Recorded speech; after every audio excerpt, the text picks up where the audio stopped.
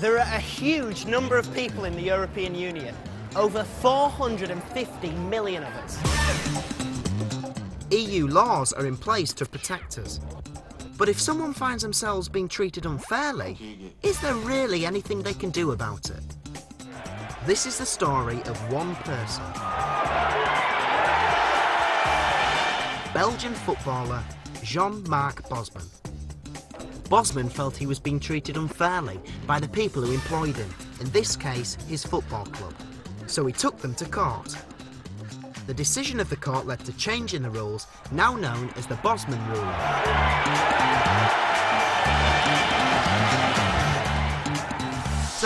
Here I am pitch side at Charlton Athletic Stadium. Now I'm a bit gutted to be honest because I can't get a chance to score in the goal because they're actually returfing for next season. But not to worry because I'm joined by Dan Johnson who's a spokesperson for the Premier League. Dan, can you tell me what was the situation like before the ruling? Well, basically, the situation was that a player at the end of his contract could still be kept by that club, and so they didn't have uh, freedom to move, and the club could actually demand a transfer fee and retain the registration of the player. So can you explain what a contract is for people that might not know? Well, when a, a, player signs for a club, they sign an agreement which keeps them at the club for normally three or four years. Um, and at the end of that contract, uh, they are no longer the property of the club. So who was Marc Bosman then, the player that changed all this? Marc Bosman played for a Belgian club uh, called Liège and uh, was looking to move at the end of his contract. He couldn't find a club that was willing to pay the fee uh, in order for him to move. So why did the player Bosman decide to go to court then? Bosman clearly felt this was unfair, so he, he went to court uh, under the freedom of movement labour laws that exist in Europe in order that he could change the system so that he could move at the end of his contract without a fee being payable to his club. And what did the court decide then? Well, the European Court of Justice found in favour of Bosman. Um, they felt it was unfair for a club to demand a transfer fee for an out-of-contract player uh, and determined that players should be free to move uh, from club to club uh, because that was a, a, fundamental right of every citizen of the European Union uh, under the freedom of movement of labour.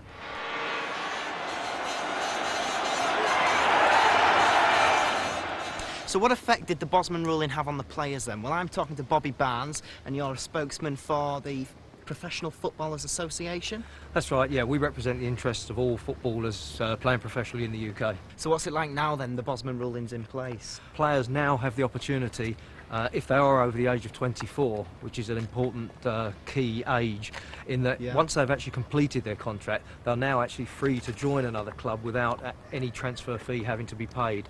This has actually allowed players a lot more freedom of choice to actually decide where they actually want to go and play next.